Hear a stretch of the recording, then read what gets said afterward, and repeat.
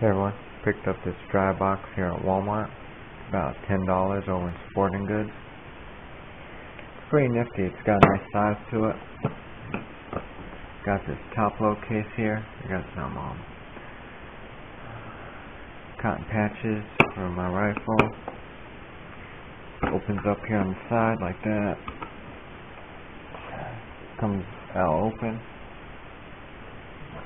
not gonna be able to see it, but there's a little rubber seal. Gives it a nice little um, watertight seal. And here I have some like cleaning supplies from the rifle. And this one I'm using is an ammo can. I got crap load of ammo in there.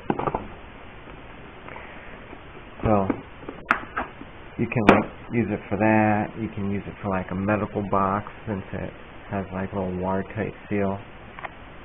I don't think it's watertight enough where you can drop it in the ocean and won't get water in it, but it keep like nice downpour or whatever off it and out of it. And it's lightweight, only 10 bucks. And another thing about it,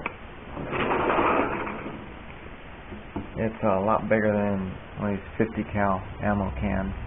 Nothing wrong with these, especially if you can get the ones with the rubber seal on it. But I'm just saying, these things usually get them about, what, 12 to $17. That's $10. Just putting it out there for you guys. Alright, later.